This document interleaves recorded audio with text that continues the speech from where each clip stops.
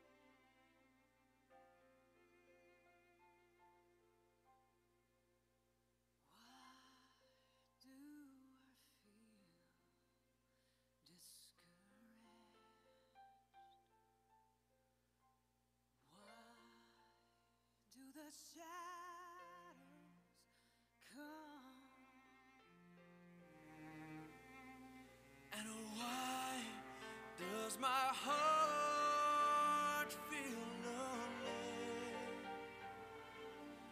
and long for heaven and home when Jesus is my portion? A constant friend.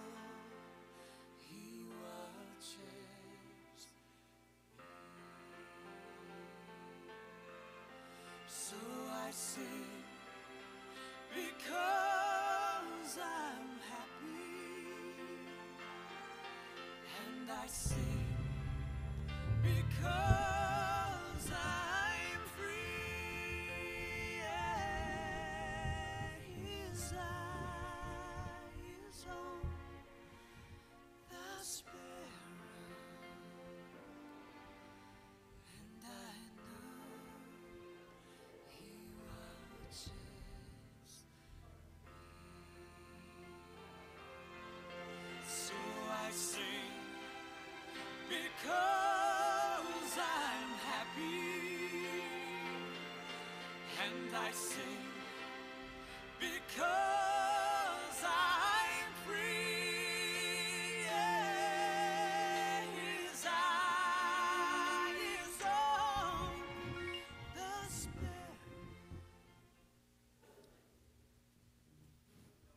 Good morning, everyone, and welcome to Skokie Valley Baptist Church.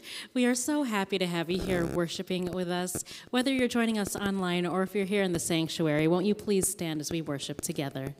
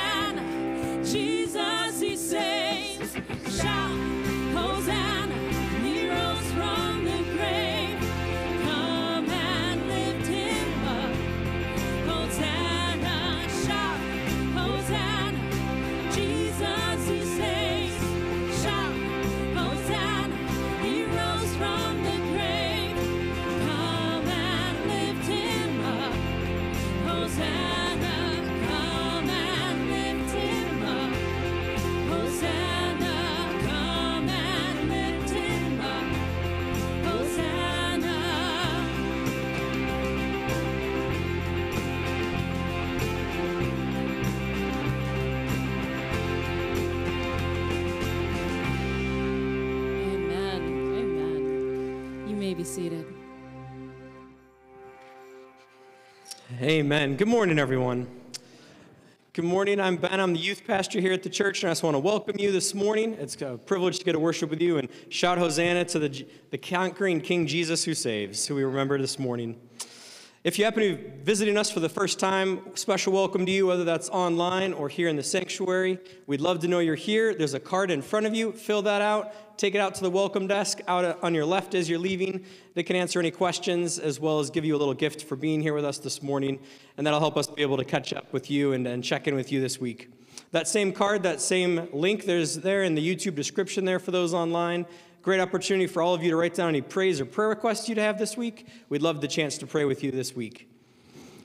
This is a Holy Week. It's, it's the most important week on the calendar for us here as Christians. And so I just want to make sure we all are aware of what's going on this week so we can come together and uh, worship God together. And that's going to start with a Good Friday service. That's going to be this coming Friday at 7 p.m. We're going to reflect on the, the last seven sayings of Jesus, as well as take communion together. So make sure you mark your calendar for that. Come on out. That will be a, a great time of reflection uh, and just pondering what Jesus did for us on the cross on Saturday of this coming week, uh, this coming Saturday, the 30th, we have our egg hunt in the morning, starting at 10:30 a.m.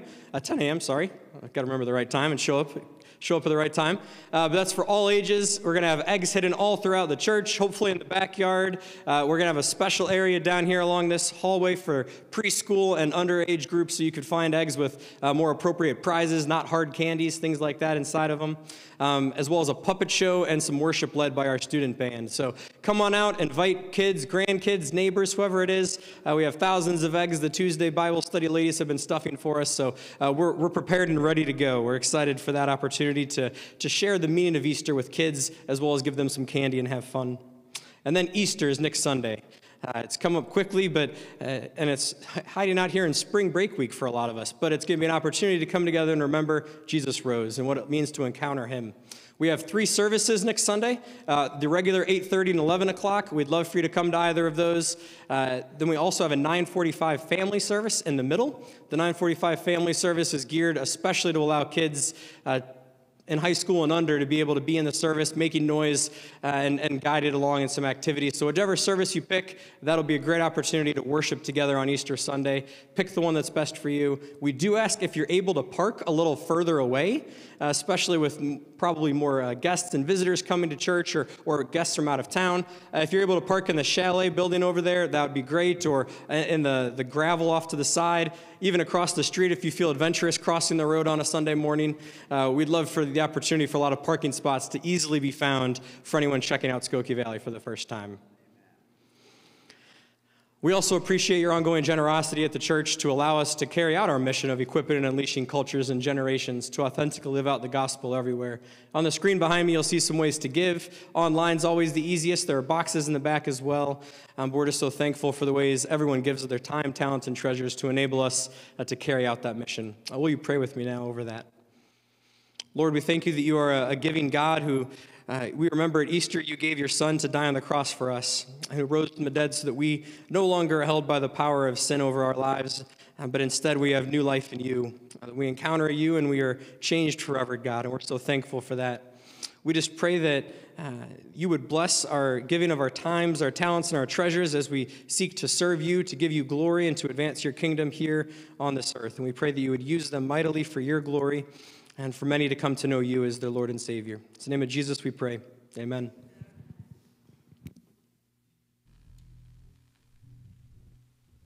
Won't you please stand as we continue in worship?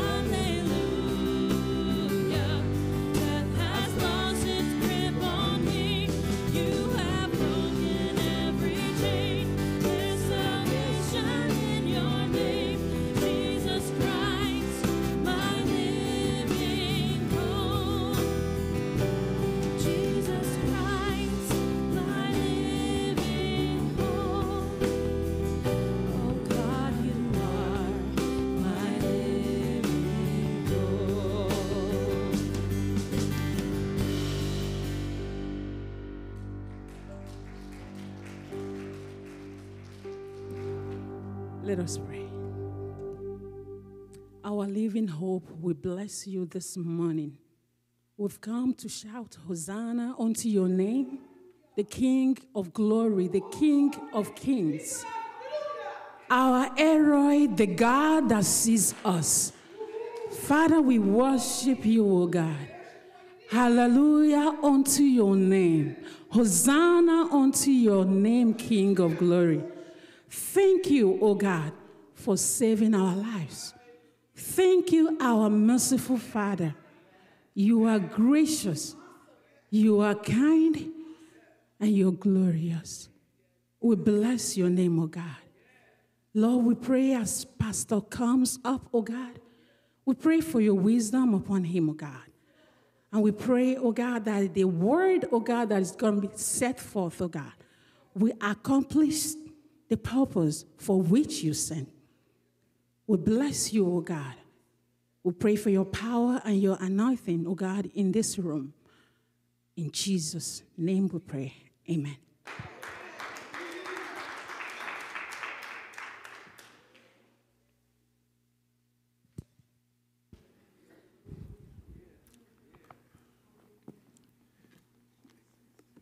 Good morning.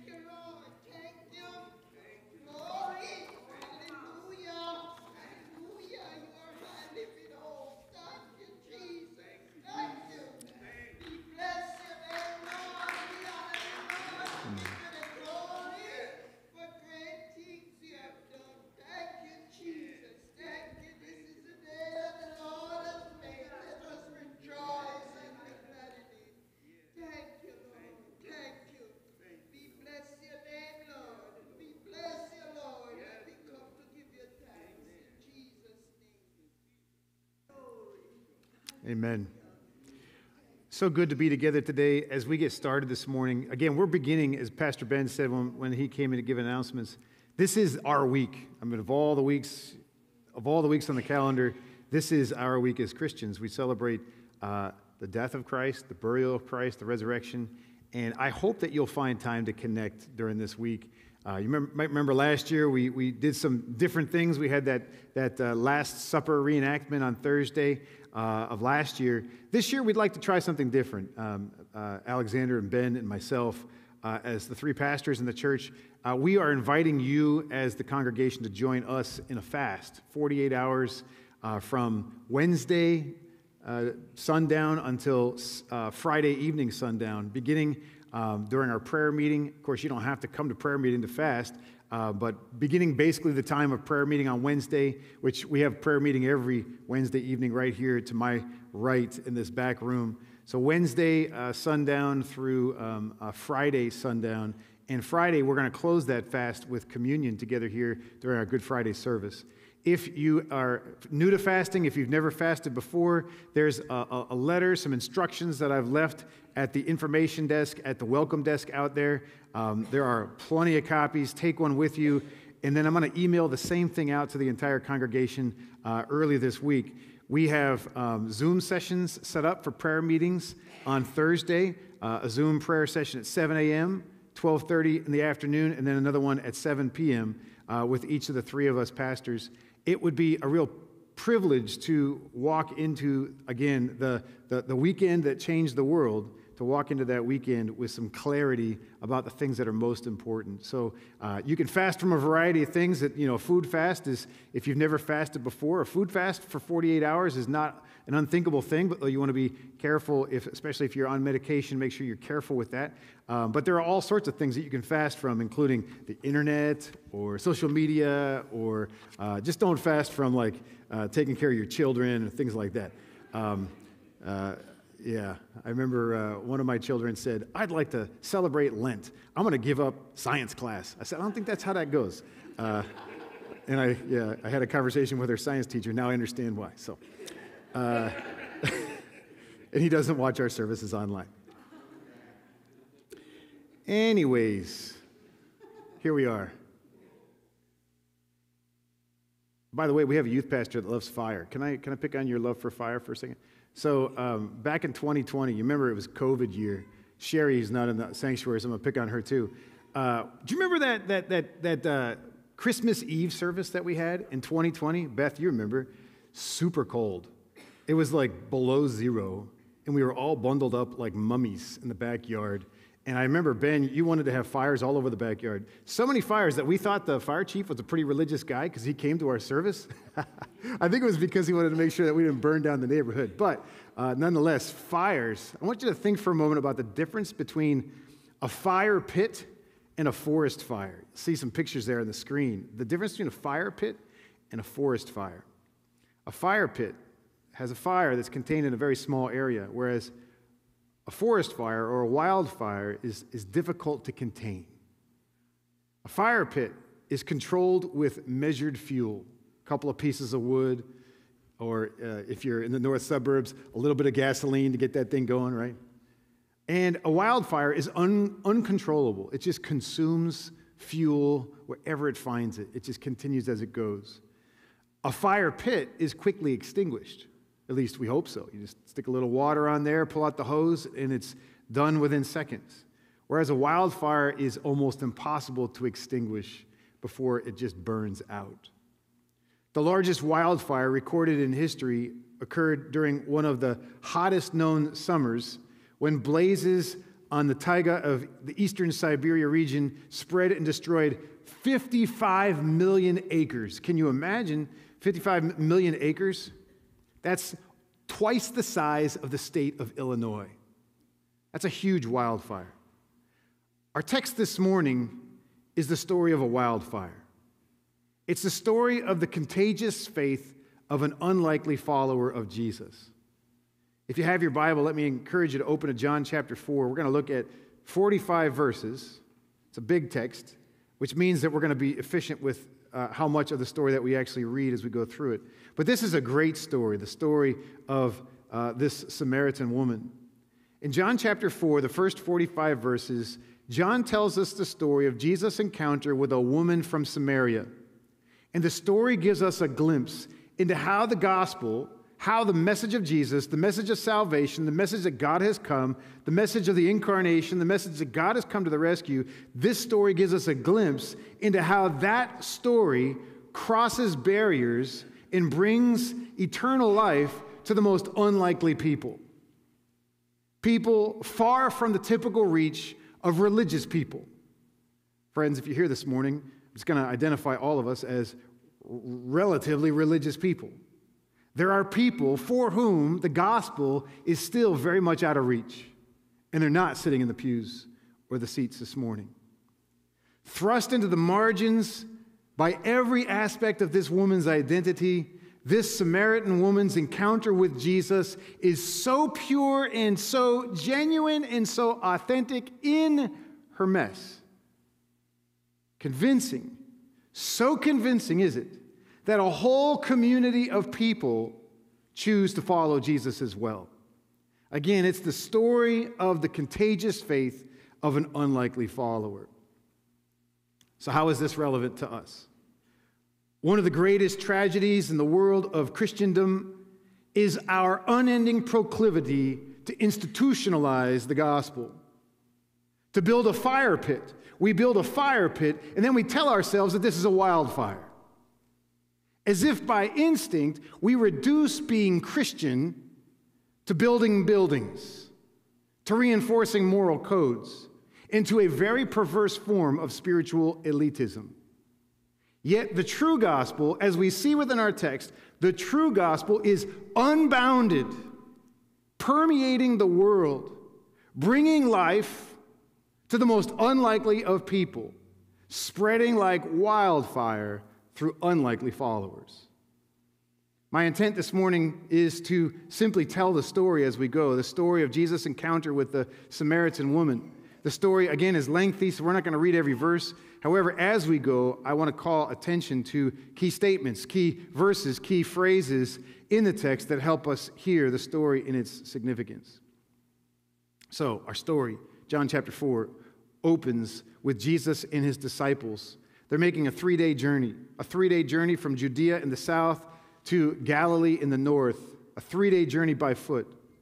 According to verse 4 in our text, verse 4 reads Jesus had plans. Jesus had to pass through Samaria. He had to pass through Samaria. Now, if you are familiar with Scripture, you know something of the history. Let me tell you just a little bit. Samaria had a long history. In 722 BC, 722 years before Jesus, the Assyrians, we've got a lot of Assyrians in our church, I know that, so I got to be careful what I say about Assyrians. In 722 BC, the Assyrians captured Samaria captured the northern kingdom, the northern kingdom of Israel, and resettled that area with foreigners. So the northern kingdom of Israel was captured by the Assyrians and resettled with foreigners, foreigners who commingled, intermarried with, with, uh, with, with Israelite families. So Israelite families marrying with foreign families under the, the, the, the, the occupation of the Assyrians, and the remaining population, the remaining people that lived in that land, uh, those people were cut off they were cut off from Jerusalem. They were cut off from uh, the, the different things going on down in the south and Judah. And the remaining population, uh, they were Jewish, but only partly Jewish. And so they developed their own version of religion, of the Jewish religion. In fact, they, they accepted the first five books of the Old Testament. It's called the Samaritan Pentateuch. They, they, they adapted the first five books of the Old Testament and kind of rejected the rest. And that population developed, again, its own version of Jewish religion even building a rival temple on Mount Gerizim. A temple which was eventually destroyed from, by the Jews from the south about 100 years before the birth of Jesus. So it's almost like a, a, a, a different religion, partly Jewish, that developed over the, cor- over the course of almost 700 years uh, up in this northern area. Now, that area, again, Jewish but not really, Jewish religion but not really, Jewish practices, but not really. Those people are the Samaritans. Those are the Samaritans. And the land itself had a long history because the land was once a part of that promised land. Uh, verse 6 in our text tells us that Jacob's well was there. Jacob is that patriarch from the book of Genesis. Jacob's well was there, along with a plot of land that Jacob had given to his son Joseph. So this is a significant place. In fact, after the Exodus, after the Exodus in the book of Exodus, those, those years that the Israelites spent in Egypt, Joseph's body would eventually be buried in the very same area where our story takes place. Joseph the patriarch's body would be buried about 100 yards from where our story takes place. So you can hear the significance of this, this, uh, this, this geographic space where the story is happening. Jacob's well is there, and that's where the woman is going to meet Jesus. Jacob had given a, a plot of land to his son Joseph, and then Joseph's body was eventually buried there after the Exodus. Again, this was a place with history and traditions, perhaps even some encrusted entitlement built up over the centuries because of religious traditions of the past. Entitlement built up because of religious traditions of the past. Many years ago, I, I traveled to uh, a couple of different sections of Europe. And when I travel, maybe it's an occupational hazard, when I travel, where I go, I love to see churches. I love to walk into churches, especially in Europe, knowing that those churches, like we think that we've got some history in the United States, like they've got, you know, these relics, these huge, awesome churches that are thousands of years old. Uh, so, again, w- among the things that I wanted to do, I wanted to see beautiful churches about which I had read in church history, these places in which such significant decisions have been made, things that I'd heard about, seen pictures of in history classes.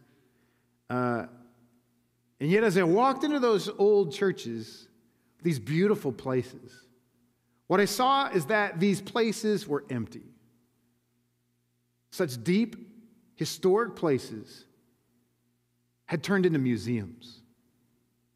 The history may have been there, but the places themselves had become only artifacts, devoid of Jesus. Into the ancient artifact of a Samaritan town called Sychar, Jesus shows up. He's weary from the journey. His disciples leave Jesus, they leave their teacher by the well, this well, this Jacob's well, and they go into town to find food. You know, they're on a mission to get some food. It's 12 o'clock noon. It's the hottest part of the day. Just leave Jesus over by the well. It's hot. Don't make him walk too much more. It's the time when everybody ought to be resting. Jesus is probably pretty safe if we just leave him here. We're going to get some food. It's the time when people are resting. It's not the time when people are fetching water. That is, not unless you're trying to avoid people because of something that you see in yourself. A woman approaches, and in verse 7, Jesus says to this woman who approaches him at the well, Give me a drink. The woman responds, How is it that you, a Jew, ask uh, for, for a drink from me, a woman of Samaria? In just a few words, Jesus crossed so many boundaries with one request, with only the request for something to drink. He crossed boundaries and barriers that had been built up by people and traditions for so long. Jews didn't eat with Samaritans. She was a woman. There are all sorts of like PG, well, we're going to say PG 17 types of things that were said about Samaritan women in the ancient world. Yeah, she was a woman. Jewish teachings within a generation would declare that Samaritan women were in a perpetual state of uncleanness. How in the world could a Jewish man be asking a Samaritan woman for a drink? She's asking. Think for a moment about all the boundaries we create for the sake of protecting our experience of religion. Just like the ideologies reflected in this text, we are inclined to dehumanize people who do not fit within our comfortable enclaves. Can I say that again? Think for a moment about all the boundaries that we create for the sake of protecting our experience of religion. Just like the ideologies reflected in this text, we are inclined to dehumanize. Yes, friends, we are inclined to dehumanize people who do not fit within our spiritual enclaves, and I would call this a form of religious contempt. I'm reminded of a man that I met, met many years ago in Rwanda. Uh, he was an older man who lifted weights at the same gym where I exercised. It was like to get to the office was three miles. This is about a mile and a half between here and there, and it was a, it was a, a military gym. And the story was in this gym, they loved to play the worst of American rap. It's not just that I don't like rap, it's that I didn't like hearing the F word over and over and over again on the, on the speakers. So I would, without asking for permission, I would go press the eject button, take the CD out, drop it into the trash, and put in my Hillsong CD or my, especially Jesus culture. I love to fill that place with Jesus culture. And I'd blare it. And one day, this old man came up to me, this old Asian man came up to me and said, Why did you throw that into the, the, the, the garbage can? And he, his, his English was a little bit rough. I said, Because it's garbage.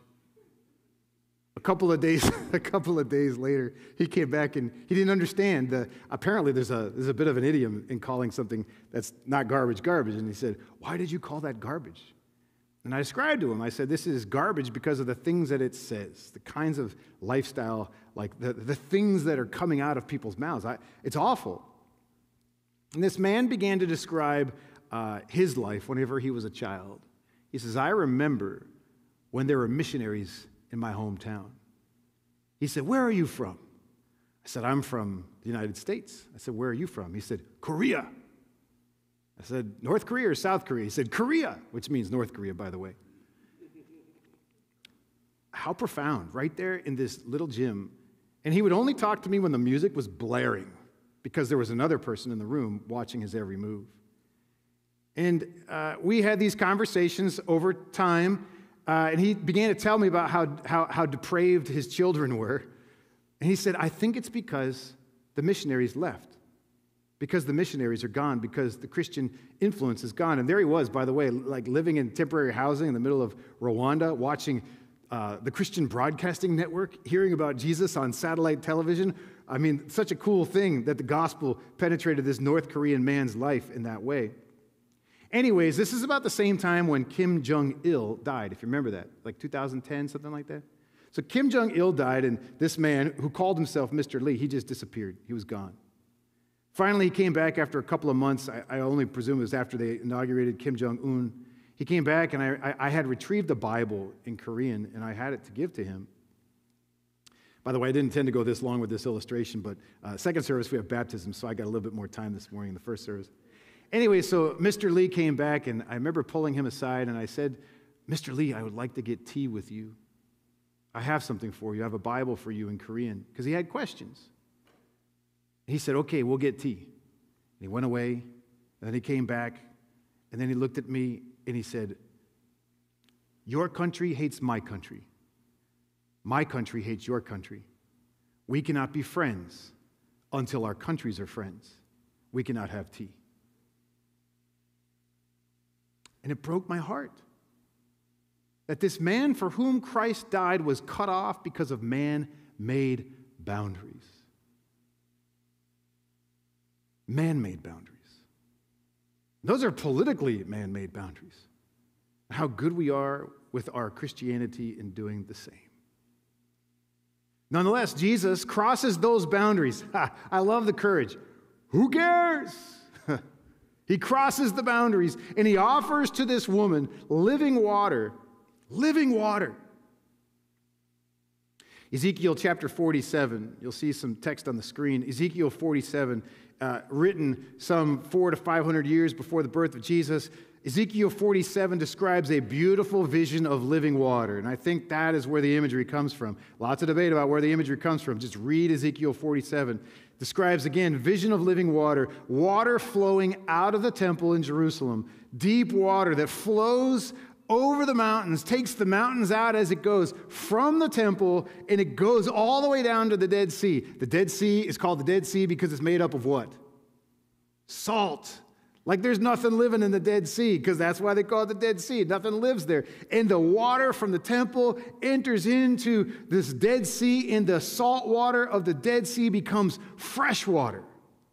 The text reads there in Ezekiel 47 on the banks on both sides of that river, there will grow all kinds of trees for food. Where? Right there, where, where death used to be. For leaves, their leaves will not wither, nor will their fruit fail, but they shall bear fresh fruit every month because the water for them flows from the sanctuary.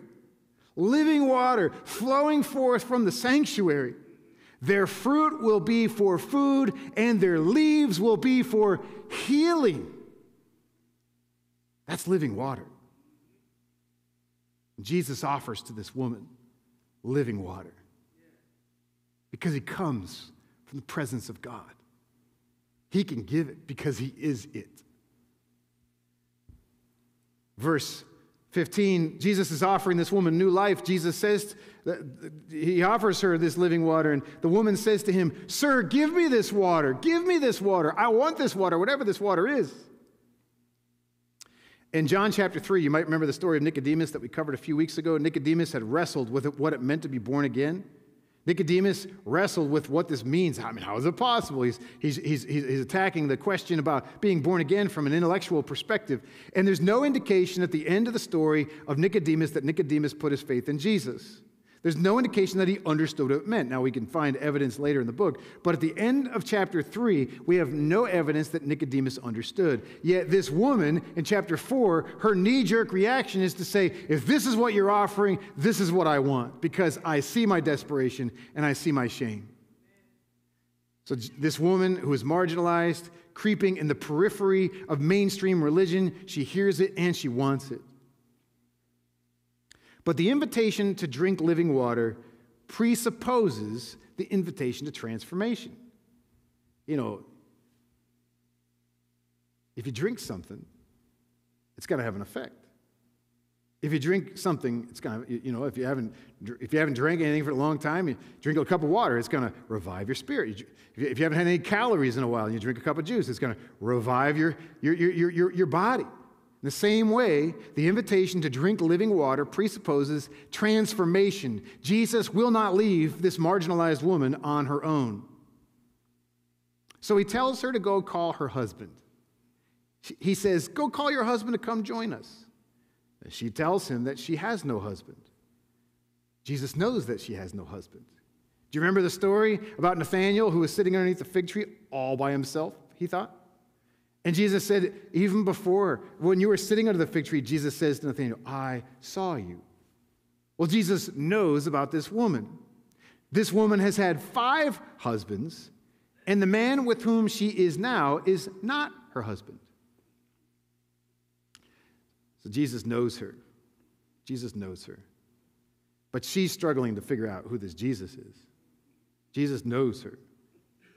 And she says to him, verse 19, Sir, I perceive that you are a prophet.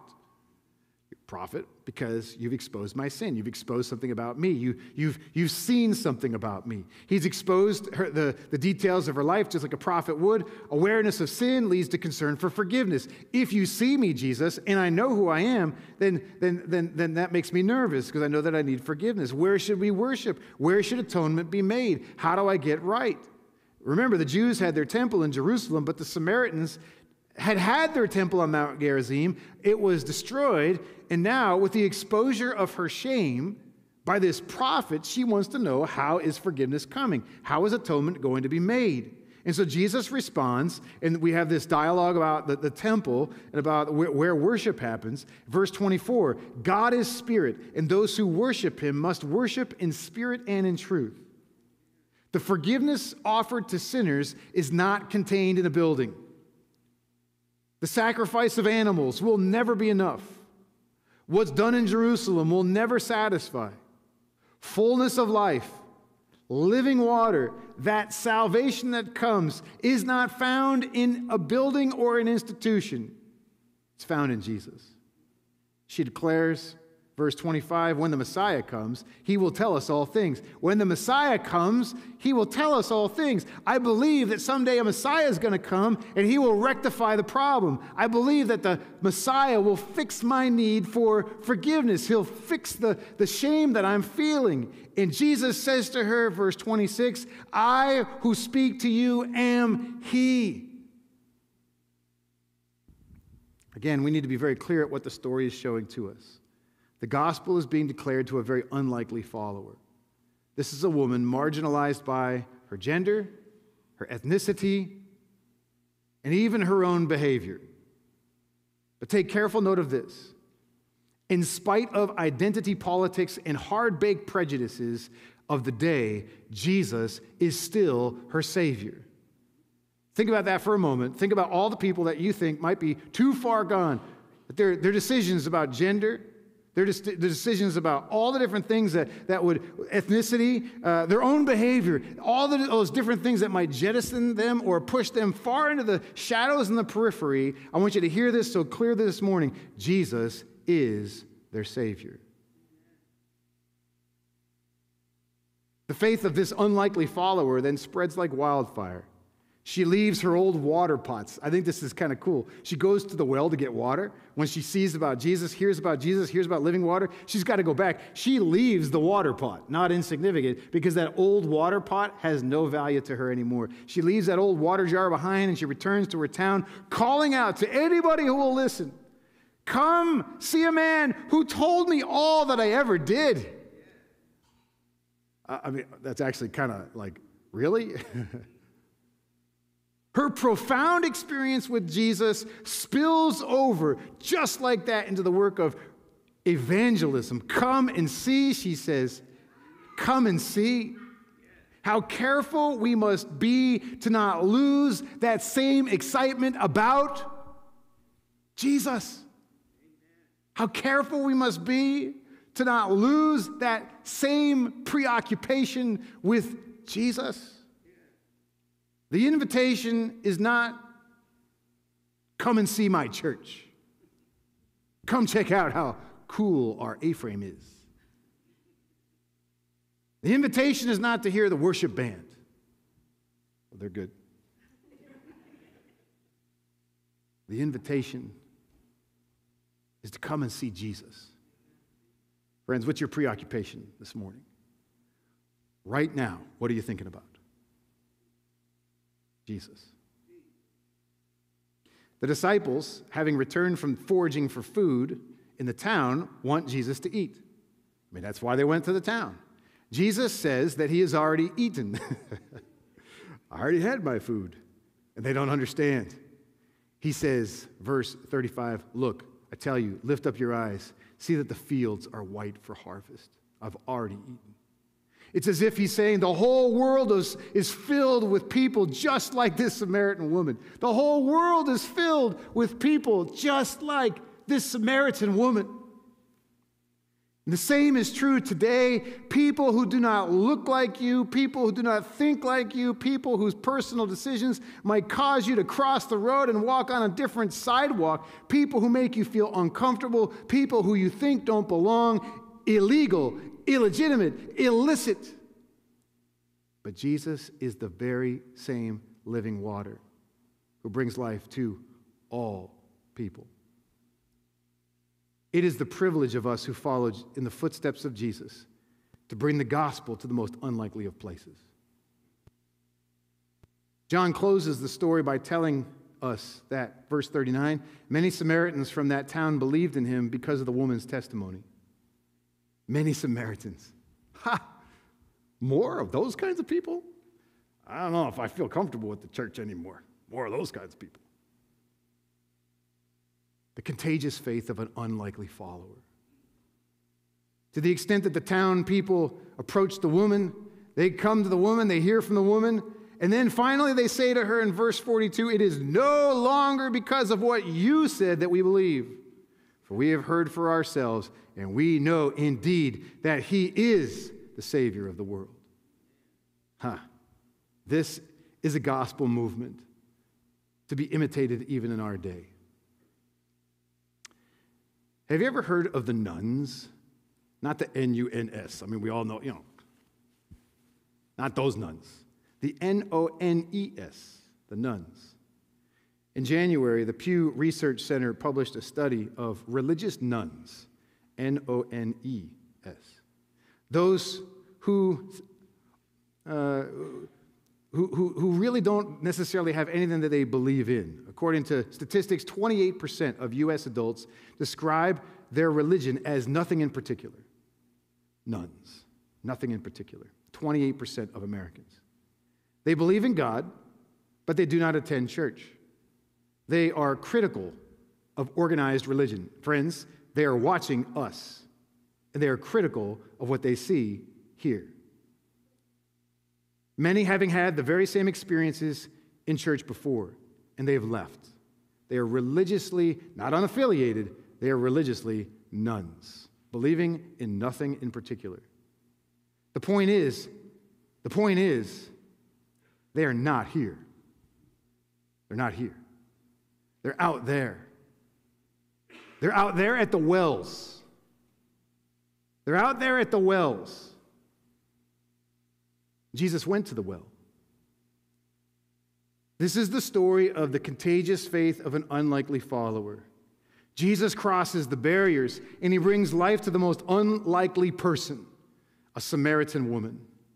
And then that woman, having had such a genuine, authentic, convincing experience with Jesus, brings her testimony to the community. And just like that, the whole community starts to follow Jesus. We need to be so careful in the context of church to not fall into the trap of erecting barriers that keep people from Jesus. So before we close, I just want to offer a few points of application. Sometimes people say, Pastor, boil it down. Tell me what I'm supposed to do.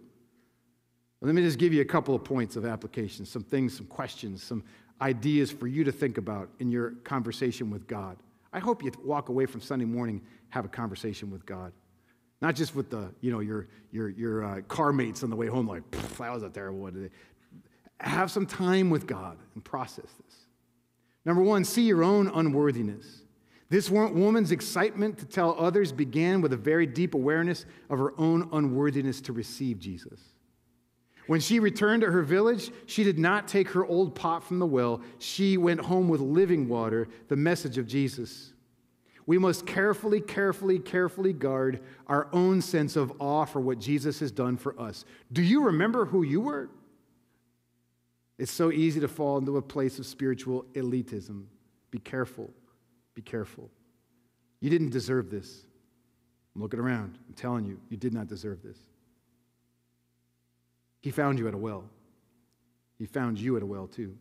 So, number one, see your own unworthiness. Number two, root out spiritual elitism. Spiritual elitism is the belief that our form of spirituality is intrinsically better. The greatest barrier to the gospel is elitism, by which we make secondary issues primary and our cultural version of Christianity preferable. And then finally, number three, just another takeaway from this morning, something I hope you'll process. Look for faith among unlikely followers. Will you go to Jacob's well? Will you go to Jacob's well? You know, think about it in terms of degrees. You might say, well, there's a well in my neighborhood. That's, that's fair. But Jacob's well was crossing barriers, boundaries, into the places that were, were deep in the shadows, people that would not hear otherwise. Are you ready to go to Jacob's well? Are you ready to go to Samaria? Are you ready to go and talk to the most unlikely of people? Are you ready to go to those people who make you feel a little bit uncomfortable? Friends, if you're not going and if I'm not going, who in the world is going? I know we can, we can send money. I mean, we, are you know, we, we've got a nice budget here at the church. Let's just write checks. We're, you know, there's a whole culture of like, I'm just going to write a check for that. No. We don't send, there's no, there's no P.O. box for Jacob's well. We go. Who will seek those who are not seeking Jesus? Let us not be found guilty of cutting off anyone for whom Christ died. The contagious faith of an unlikely follower is like a wildfire, a movement that can't be stopped. I opened with the illustration of a fire. Let me close with the illustration of water. The Mill River Dam in Williamsburg, Massachusetts, was constructed under lax regulations with shoddy workmanship. On May 16, 1874, the dam failed. 600 million gallons, that's a lot of water, 600 million gallons of water flowed for eight miles, taking out houses. Can you envision the power of water flowing downhill, taking out everything in its way?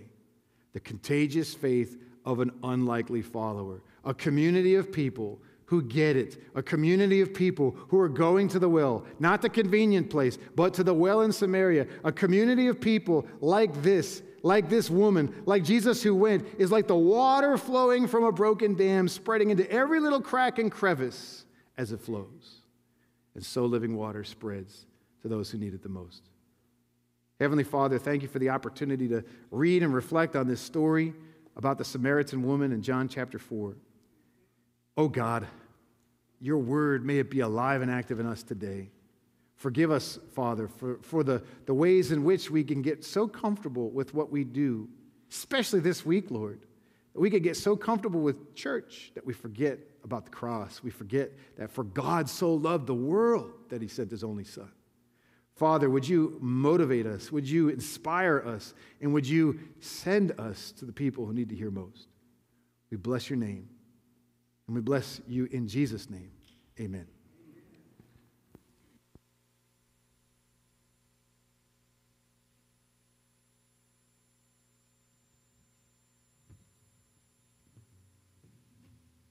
Won't you please stand as we respond in worship?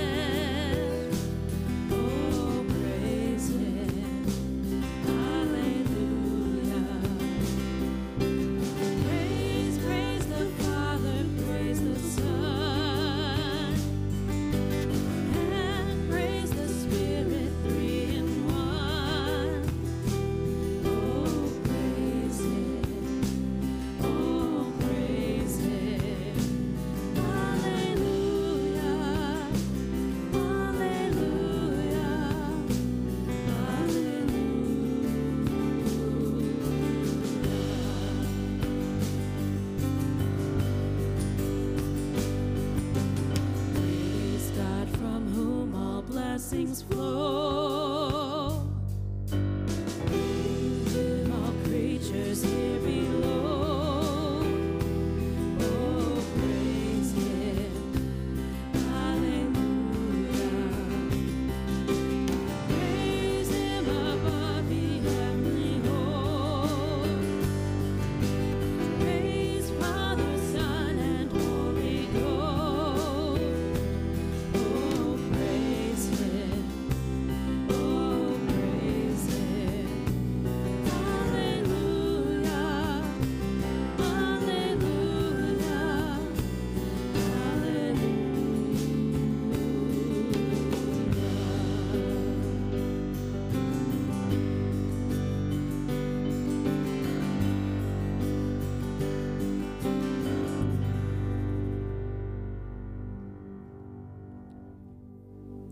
Uh, so just a few things as we close our service today.